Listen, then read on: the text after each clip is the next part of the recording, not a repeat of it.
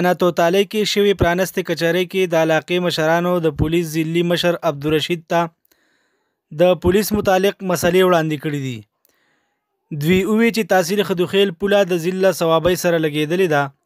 هم په دې وجه سیمې ته منشیات پروش په اسانه راتلی شي د جماعت اسلامي پخوانی صوبایي امیدوار راجولي خان ووی چې که څوک وایي چې خدوخیل د منشیاتو نه پاک دي نو دا خبره دروغ ده پولیس او اولس لا په شریکه د منشیاتو خلاف جنگ کول پکار دي خو دراج خان وی چې خدوخیل تحصیل د منشیاتو نه پاک دی سوشل ورکر اکرام وایي چې د غازی کوټ چوکۍ پولیسو سره موټر سایکل هم نشته کچری پولیسو ته ضرورت شي نو بیا ورلا د کلی خلک د گاډي انتظام کوي کچری کې شامل شوی نورو مشرانو مختلف تجاویز ورکړل او غوښتنې وکړي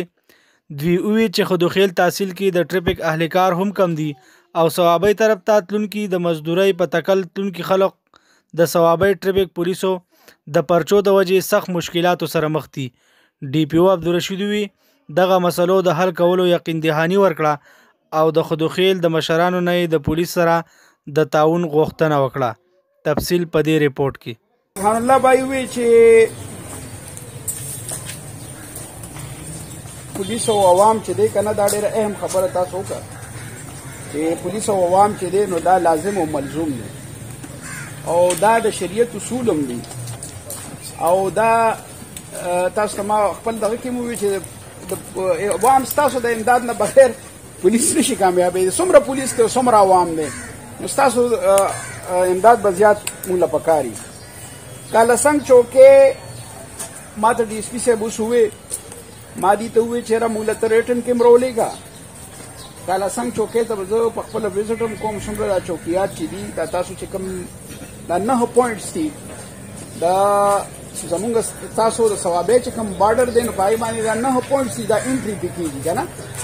دې نو پوینټس باندې باندې خصوصا دا کالا څنګه ول چوکې ول چې کوم خبره ده ان شاء الله تعالی تاسو به وګورئ ډیر ضرب مونږ په دې باندې مونږه ک لکه ډي جی سیب ته بلی کو هغه به کوي امداد مونږ به ستاسو د امداد نام تاسو ستاسو نه به غوښتنه کوو که د پیسو امداد نشي کولی نو د لیبر امداد را سره وکړي خیر دی مونږ به څه د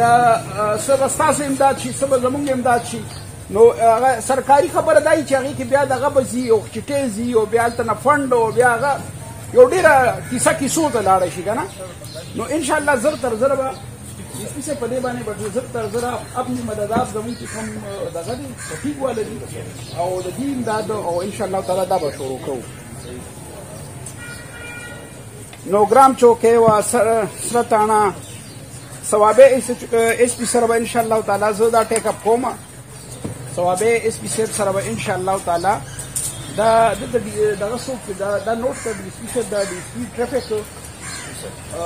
د سی کټک ما ته اوس نمبر او دغه کانټیکټ را واخله چې هغه ته مونږ ووایو چېرې دا تاسو خلک ځای مه تنګوئ ښه دا روډ باندې دا غر چا را غورځولی دی بختیار علي دا خبره وکړه چې روډ دا وګوره چو صاحب دا په خپله لاړ شه دا وګوره دې سړي ته ووایه چې دا فورا درکړه منشیاتو باره کې مونږ ښه پوره دغه کړی دی منشیات باره کې مونږه دوراج خان وی چیرې منشیات خو نه هونه کې برابر دي بلکې بیا زمونږ د بل مرګري وی چې نه منشیات شته خو مونږ ان شاء الله تعالی منشیاتو خلاف مونږ یو ډرایو شروع کړی دا او هغه مونږ ان شاء الله تعالی باغ سر ته رسو او کوشش کوو ان شاء الله تعالی پای کې مونږ درې قسمه دا کو کم چې زیات لکه سکلو والدي هغه ته موږ ته دګر کې هسپتال هم جوړ کړی دی هلته هسپتال کې ډیر خلک موږ هسپتالونو کې هلته داخل کړ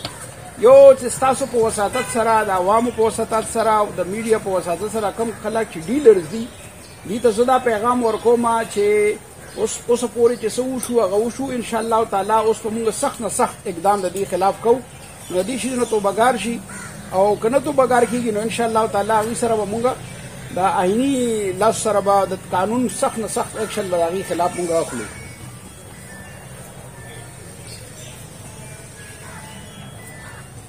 اس ایچ او تاسو چې بهر نه نو بهر نه راغلي اس ایچ او خو مونږ د سواد نه ته لګولې دي